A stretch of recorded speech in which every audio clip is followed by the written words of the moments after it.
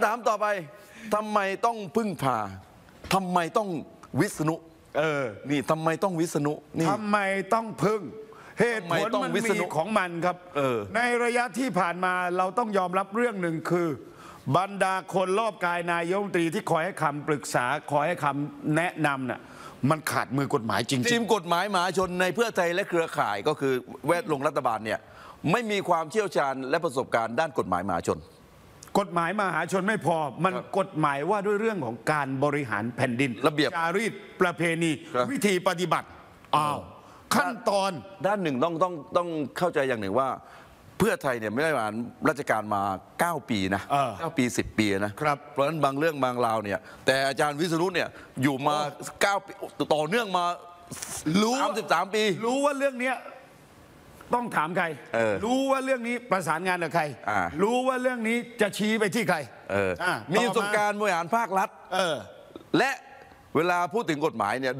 ประเมินถึงผลกระทบทางการเมืองอย่างดีด้วยนะ แน่นอนเลยครับใช่ไหมไม่ได้มองนนี้ขาด ไม่ได้มองมิติ เขาบอกนักกฎหมายมหาชนมองมิติกว้างกว่า ใช่ มองไปถึงผลกระทบมทางองการเมืถึองงด้ผวยลกระทบทางการเมืองที่จะเกิดขึ้น แรงกระแทก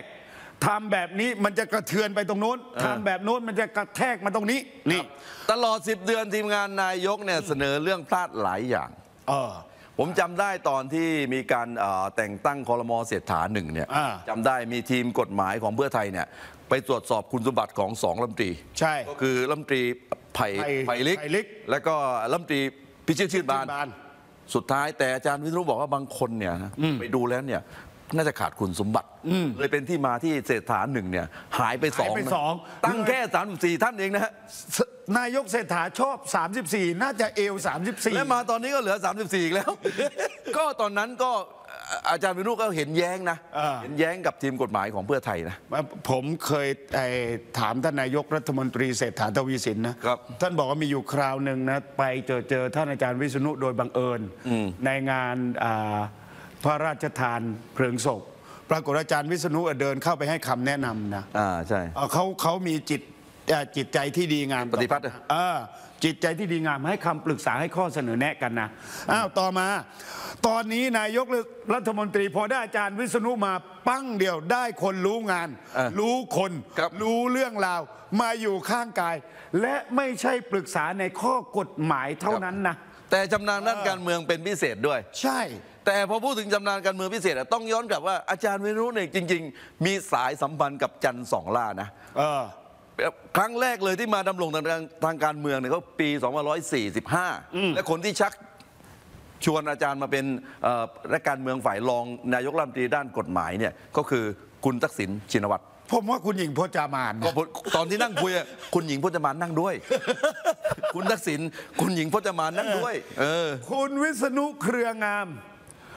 เป็นหนึ่งในมือกฎหมายของรัฐบาลหมักเก้านายก 13 รัฐบาล 9 นายก 13 รัฐบาล ปฏิบัติหน้าที่ที่ทำเนียบในฐานะรองเลขาเอ่อคณะรัฐมนตรีเนี่ยตั้งแต่ปี 34 ถ้าปี 67 นี้ก็ 33 ปีแล้วนะ โอ้ทำอะไรก็ทำเถิด ให้เชี่ยวชาญเถิดมันจะเกิดผล เพราะฉะนั้น9นายกอยู่9นายกเนี่ยมีใครบ้างนี่ฮะนะจะเอ่อรัฐบาลชาติชายชุนวันอนันต์ปัญญาชุนสองสมัยสองสมัย สุจินดาคราประยุนชวนหลีกภัยสองสมัยสมัยบรรหารศรีปาอาชา โจลิศยงใจยุทธทักษิณจิตวัตรสองสมัยเออประยุทธ์จันทร์โอชาสองสมัย และเศรษฐาทวีสินเก้านายก ยาสามัญประจำบ้านที่ชื่อวิษณุเป็นเรื่องที่รัฐบาลขาดไม่ได้มาเลย 13 รัฐบาลครับเอออาจารย์วิษณุแม้ว่าได้รับแรงกระแทกได้รับสมญานามที่แตกต่างกัน แต่สิ่งหนึ่งที่เหมือนเดิมเหมือนเดิมครับอเป็นคนสบายสบายๆและพร้อมที่จะชี้แจงไม่เคยหนีเลยครับ คุณจะเอายังไงกับผมก็ว่ามาเนติบริกรเนี่ยต้องบอกว่าที่พูดถึงกันเยอะตอนเนี้ยมาจากตอนปีอ่า45 ที่ได้รับฉายาเนติบริกร คือเคลียร์ข้อกฎหมายทุกที่บริอย่างกรอะเออ ต่อมาเขาบอกว่าเป็นเครื่องซักซักล้างอัเป็นนเคนี้รื่องตอซันกผ้า อันนี้ตอนเอ่อตอนสมัยหลังๆแล้วหลังๆคสชใช่ครับอ่าเห็นไหมล่ะไงเนติบริกรมาเนี่ยใช่ฉายามา ตอนปี45เนี่ยฮะสี่ห้าใช่ไหมเอออ่่าต่อมาก็เป็นคนสะสาง เป็นคนจัดการเรื่องแก้ปัญหา สิ่งหนึ่งที่อาจารย์วิษณุยังทำไม่ได้ ผมจำได้ ท่านบอกท่านมีปฏิญญาเลยครับ ท่านจะกิโยตินกฎหมาย 2,000 กว่าฉบับที่ล้าสมัย แต่ท่านบอกเวลาทำมันยากมากตั้งใจจะทำให้สำเร็จ แต่ยังทำไม่สำเร็จตอนนี้ จารย์วิษณุเครืองาม เป็นหนึ่งในจิ๊กซอว์ที่เข้ามาเติมเป็นมีด เป็นอาวุธให้กับรัฐบาลเศรษฐาทวีสินว่าด้วยเรื่องกฎหมายคราวนี้ล่ะ จะไม่ตกม้าตายในหลาย ๆ เรื่องแล้ว เออเพราะที่ผ่านมา 10 เดือนมันมีช่องโหว่ช่องว่างของการเคลื่อน ประเทศการพัฒนาประเทศ หรือว่าการบริหารราชการแผ่นดินมากมาย เพราะฉะนั้นการเข้ามาของอาจารย์วิศนุเครืองามน่าจะเป็นจิ๊กซอว์อีกส่วนหนึ่งที่จะต่อเติมส่วนที่ขาดส่วนที่มีช่องโหว่ของรัฐบาล คราวนี้มีขุนพลที่เป็นมือกฎหมายมหาชนครับและเป็นมือกฎหมายที่เชี่ยวชาญด้านการบริหารราชการแผ่นดินมาอยู่ข้างกาย ครับ เขาบอกว่าเบื้องหน้าเบื้องหลังอะมันมาจากไม่ได้มาจากเรื่องว่า เข้าไปพบหรอกนะ แต่มันมีปัญหาว่าทีมที่มีอยู่ณ ปัจจุบันไม่สามารถรองรับกระบวนการบริหารและข้อจำกัดทางกฎหมายได้ อะ นี่เลยครับเอ่อไปมีการหาเลยกันช่วงเช้าวันเสาร์ที่ 25 พฤษภาคม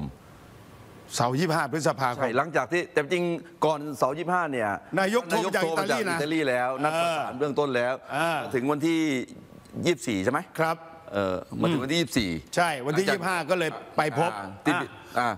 ชักชวนนั้นเป็นรองนายก เออ คุณเห็นไหมล่ะ ชักชวนรองนายกนะไอ้นี่ชัดเลยเป็นรองนายชัดเลยเป็นรองนายกด้านกฎหมายเลยนะ ฝ่ายกฎหมายเลย รวมไปถึงถ้าไม่ได้รองนายกก็ที่ปรึกษานายกรัฐมนตรีอ่าแต่เอ่ออาจารย์วิษณุปฏิเสธทั้งสองตำแหน่ง ครับ ที่ปรึกษานายกรัฐมนตรีนะไม่ใช่ของนะ ที่ปรึกษานายกรัฐมนตรีนะแต่ถูกปคืฏิอเสธตำแหน่งอ่าทาทางงการเมืกาองรเมืองเลยอ่า สุดท้ายก็ลงเอยตอนนั้นลงเอยที่ปรึกษาสำนักเลขาคณะรัฐมนตรี ตอนนั้นลงเอยนะเออแต่สุดท้ายลงเอยที่ปรึกษาของนายกรัฐมนตรี เหตุผลอีกหนึ่งเหตุผลที่อาจารย์วิษณุรับงานเนี้ยครับมันเกิดขึ้นมาจากครับข้าราชการในทำเนียบเนี่ยตอนนี้อยากให้อาจารย์วิษณุมาช่วยมาช่วยงานครับเพราะรัฐบาลเพื่อไทยเนี่ยมันมีปัญหาว่าด้วยเรื่องระเบียบครับข้อกฎหมาย หลายเรื่องนะครับ ติดล็อกติดบ่วงอยู่ ว่าด้วยเรื่องของความรอบคอบรอบรู้อ่าและอีกเรื่องหนึ่งก็มีข่าวว่าคนหนึ่งที่มีช่วยประสงค์ประสานงานด้วยมีประหลัดฉอก็คือประหลัดจริงอะไรฉอจริงอะไรอันนี้คือข่าวนะข่าวเออเป็นผู้แนะนำเออแต่ความเป็นจริง ผมถามปลัดฉอคือปลัดชิง เป็นยังไงครับปลัดชิงบอกว่าอืมไม่มีผมจะไปแนะนำผมไม่เกี่ยวกับการเมือง เออนะผมไม่ได้ไปด้วยวันที่ไป ครับหาอาจารย์วิษณุ ไม่ต้องไปแล้วได้ข่าวบ้านติดกันอยู่เลยคือไม่ต้องไปก็ได้ครับท่านประหลัดชิง คืออยู่ใกล้ๆกัน บ้านใกล้ๆใช่ไหมบ้านติดไว้อ่าบ้านใกล้ๆกันบ้านใกล้เดินไปก็ถึงแล้ว เพราะฉะนั้นท่านประหลัดจะบอกว่าไม่ได้ไม่ไปถูกต้องแล้ว คืออยู่ตรงนั้นแหละครับ